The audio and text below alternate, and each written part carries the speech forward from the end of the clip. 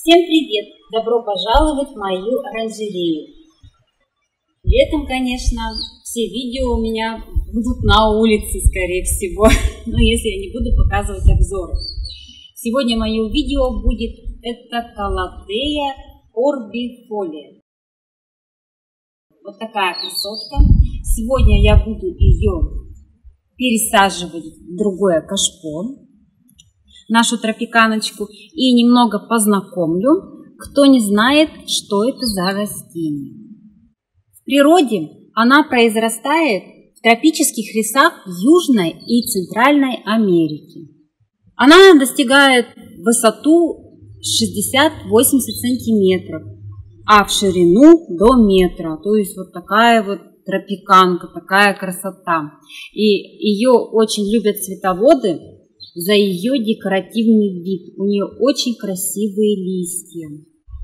В природе тропиканочка эта может порадовать и цветением. Калатея орбифолия относится к семейству марантовые. Орбифолия, как и другие калатеи, нуждается в правильном уходе. Не прощает таких грубых ошибок в уходе за ней. Ее, конечно, рекомендуют уже выращивать опытным цветоводом. И сейчас я скажу, как нужно ухаживать за ней в домашних условиях. Поэтому в уходе за ней нужно соблюдать некоторые условия. Первое. Она не переносит прямое попадание солнечных лучей. Ее нужно притенять. Второе. Она не терпит переувлажнения почвы. Ее нужно поливать при просыхании верхнего слоя почвы на 3 см примерно. То чуть побольше можно. И третье. Она не переносит сквозняков. Четвертое. Она не терпит резких перепадов температур. Если, допустим, зимой ее оптимальная температура 18-20 градусов, то в летний период она предпочитает 25-30 градусов, но не выше. Следующее условие – это, конечно, влажность воздуха, так как наша красотка тропиканка, она требует высокую влажность воздуха. То есть горшок можно поместить на поддон с керамзитов, добавив туда воды. Вода будет испаряться и э, тем самым будет увлажнять листья ее. Либо увлажнитель.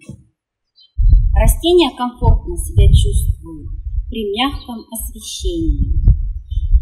Она теневыносливая, но это не значит, что ее нужно затолкать в какой-то дальний угол. Если она не будет получать солнечного света, мягкого такого, то у нее потеряется декоративность листьев. Она просто будет зеленой, допустим. А если наоборот будет много солнечного света, то она будет такая буро-коричневая и будет скидывать листья, и так может она погибнуть. То есть нужно выбрать золотую середину. В общем, летом ее нужно притенять от прямого солнечного света, то есть это восток, либо запад, окна, если ее разместить, либо на полу, чтобы тоже получала какое-то количество солнечного света. Но это у меня помощник тоже решил ставить свое слово. Спасибо. А зимой нужно досвечивать, потому что в зимний период у нас не хватает э, светового дня. Поэтому нужно растение досвечивать. И обязательно грунт. Я сейчас буду ее переваливать, и я уже приготовила грунт и расскажу вам, что я туда, какие компоненты добавила. Она предпочитает рыхлый грунт, слабый кислый. Я приготовила вот такой вот ей кашпо Здесь очень хорошее дренажное отверстие. И приготовила такой я грунт. У меня здесь грунт я купила готовый для фиалок. Он такой очень питательный. Добавила сюда конский перегной. Он у меня такой же перетревший. Очень мелкую сосновую кору добавила ей, потому что она любит слабокислый грунт. Добавила сюда немного перлита, вермикулита и древесный уголь. И получился вот такой вот, смотрите, даже не промешала я его, сейчас промешаю. Смотрите, какой вообще классный, рыхлый грунт. Получилось то, что нужно прям. И он достаточно питательный. И воздухопроницаемый получился. На дно обязательно я насыплю керамзитом.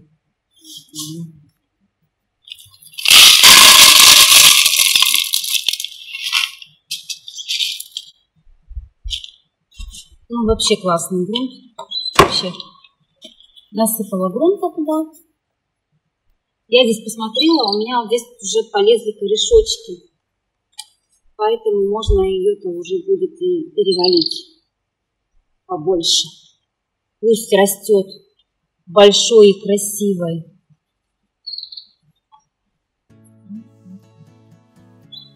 Ну, корешочки у нее хорошие.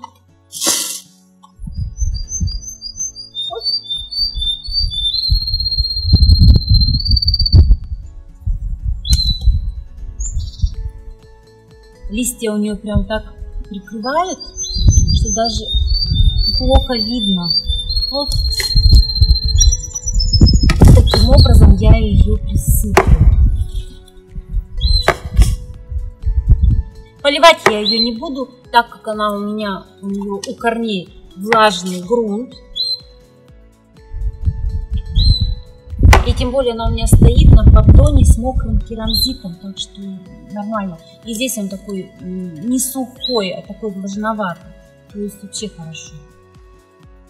Что нужно.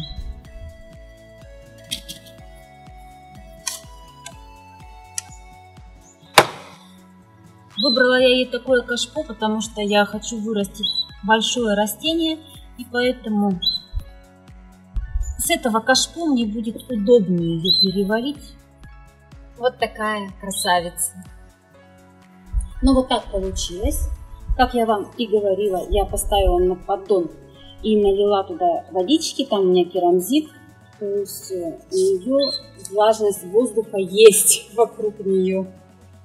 И сейчас домой унесу. Поставлю ее на такое место, где на нее так вот падает солнышко такое, как бы, в общем, там все хорошо. Буду держать вас в курсе, обязательно буду ее показывать вам, как она у меня растет, как развивается. Подписывайтесь на мой канал, ставьте лайки. Увидимся в следующем видео.